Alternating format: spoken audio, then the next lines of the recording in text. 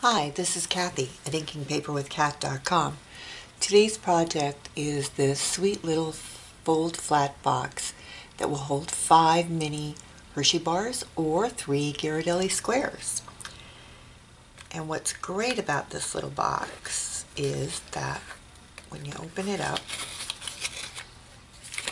you can see that it's got the Hershey's in it, but if you take these out, it will fold absolutely flat for storage. Perfect for wedding favors, table gifts, all kinds of things. Or if there's something that you make, uh, earrings or something like that, that you need boxes for, this would be great because you could do them up ahead of time. So let's get started. For today's project, you will need a piece of 5x8 cardstock. This is Flirty Flamingo. This one was Dapper Denim. denim. Both are new in colors. You need your DSP, and these are really little pieces. You need eight, three quarter inch by one and three quarter inch. And we're using exactly the same paper. This is Affectionately Yours and it's the same pattern and we'll see how it looks on a different background. You'll need a piece of Whisper White for your stamping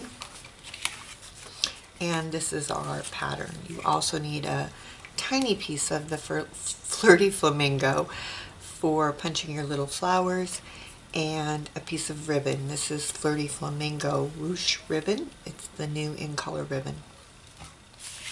All right, let's do our scoring push those off to the side so I don't lose them.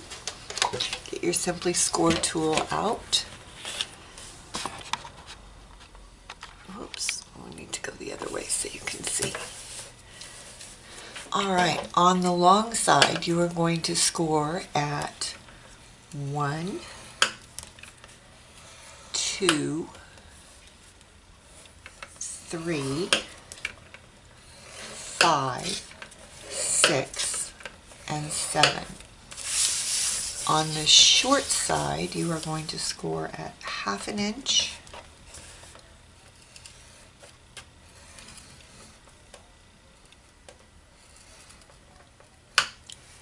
one and a half, three, oh, three and a half, and one. All right, that's all of our scoring done. So if we look at our pattern, you can see the pieces that you need to remove. So if you put your paper so that it's in the landscape position, on the side you are going to remove these four areas. It's two squares and two small rectangles. So let's just take those out.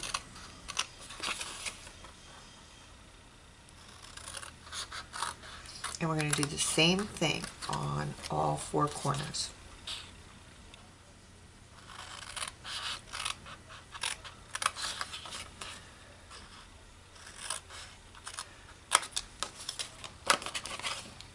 And hang on to those little scraps. They're great for punching small flowers and small hearts, things like that.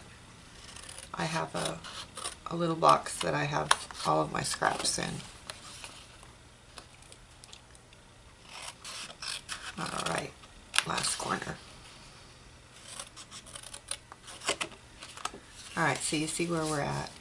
Now we need to remove this small section. It's a small rectangle on all four sides.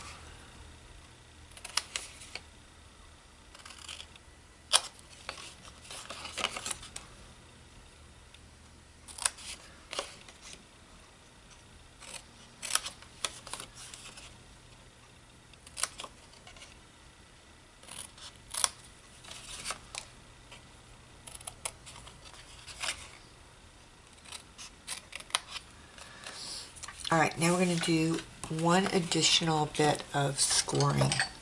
So get your stylus and a steel rule and let's come down a little bit so you can see this.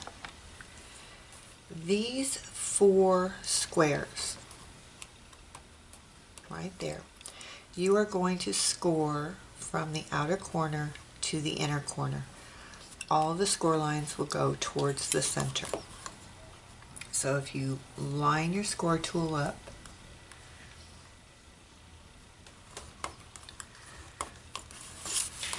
just score.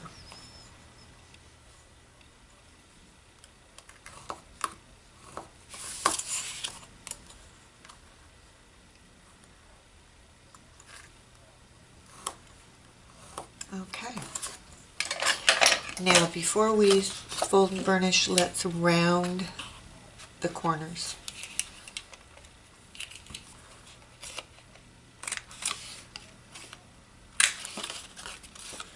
And this is the Project Life corner rounder. All right, so let's fold and burnish all of our score lines except for those that were in the corner boxes, the diagonal ones. We'll leave those just a minute.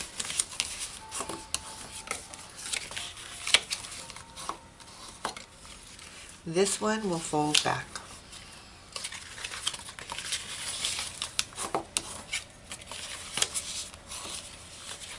And it folds back.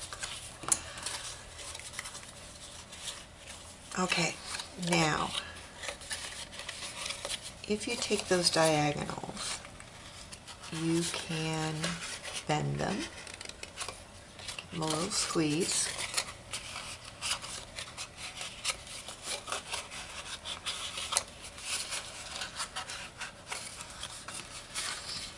and then just bring them in and run your score tool along to give it a nice crisp fold.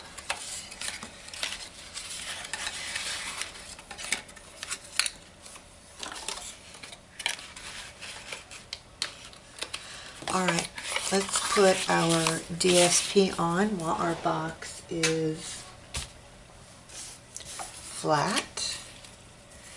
And the DSP is going to go there, there, there. Not on the bottom, there, there, there, and you see that I've rounded the corners there and we need to do the same thing on this piece up here. So take that little piece and need to be somewhat careful. Put it in and round off those corners. Alright, we're just going to use snail. These are small pieces.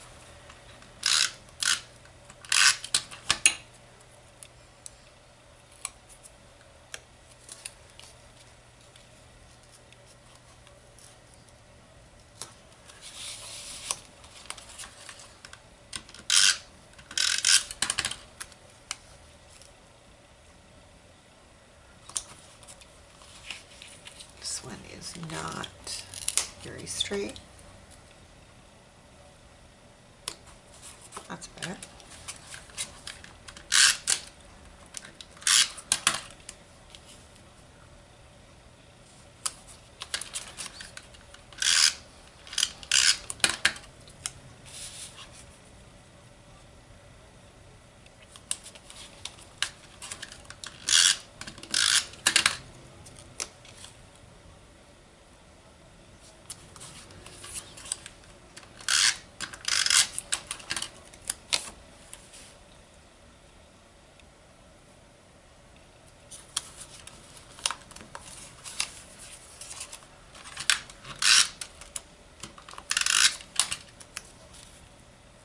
Normally I would put the snail on all the pieces. Because they're so tiny, I find that generally my finger is stuck to them, so it's just as easy to pick it up and go ahead and lay it down on the paper. Alright, so now if you fold your box in,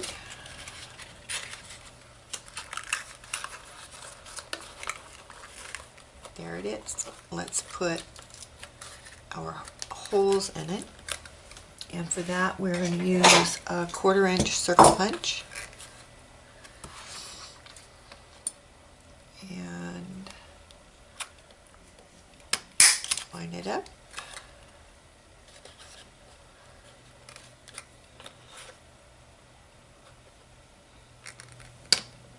And punch.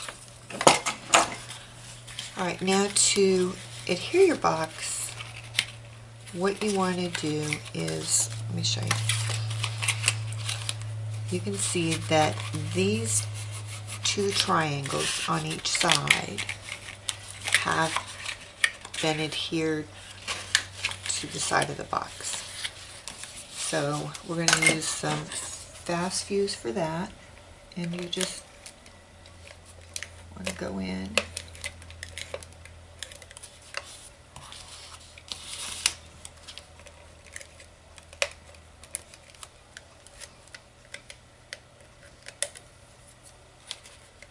And you could also use double-sided tape, which sometimes I think is easier, to be honest, when you're working in these little tiny areas.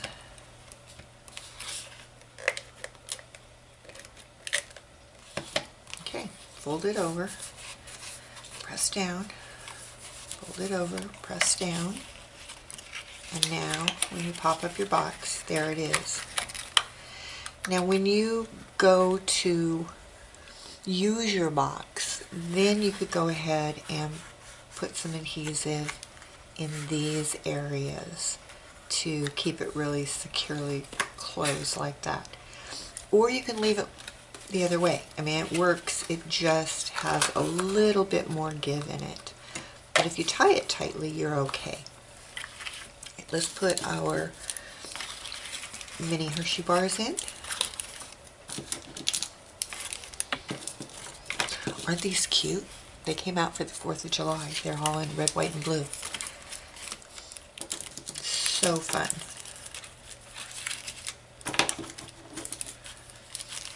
Okay. We are using Flirty Flamingo ribbon. So let's pull that through.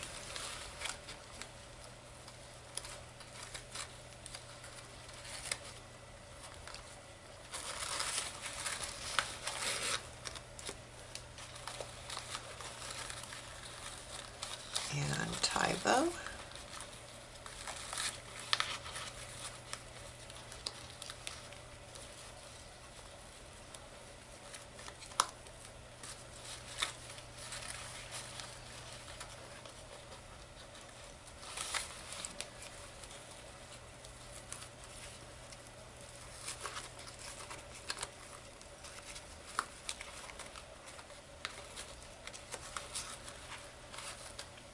Not the greatest bow, but we'll go with it for right now.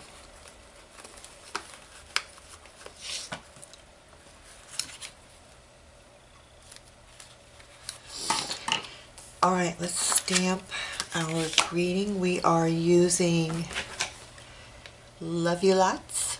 It's a hostess gift set that you can get for a reduced price when you purchase more than $150 worth of product or have a party that's more than $150. And we're using Love You Lots. We're going to use Flirty Flamingo ink. There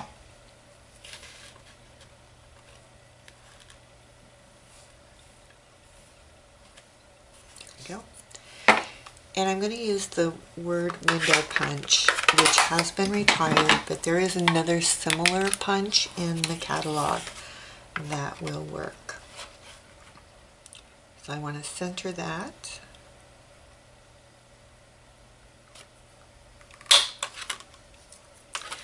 And then we're going to take that little strip of paper or one of these little cutouts. And we're using the tree builder punch. And there's a small flower right there on the side. And we're going to punch two of those. Let's get out some pearls.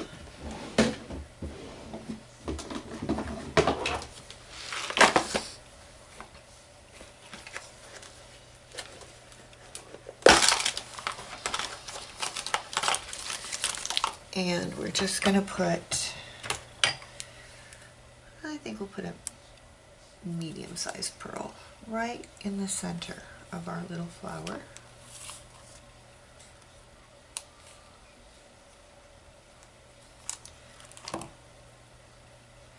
And then if you just put it on your finger and pinch around a little bit, you can get it to start kind of, whoops, bending up.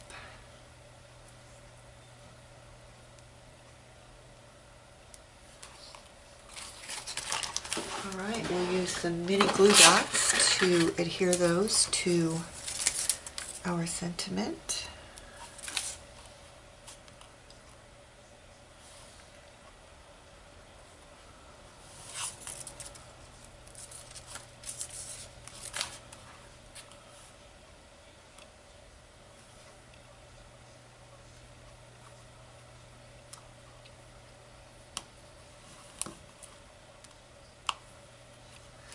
And then we will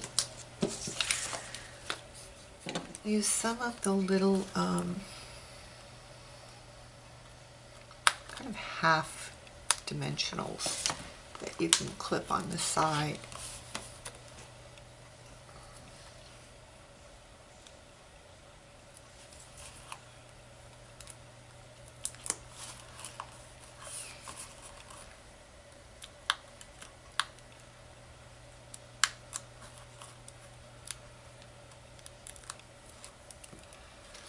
Okay, and this goes right there.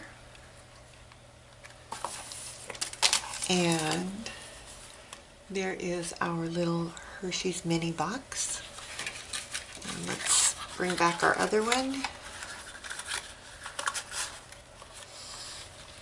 To me, the paper looks really different when it's against the two different backgrounds. I think I like the pink one best. Well, how about you?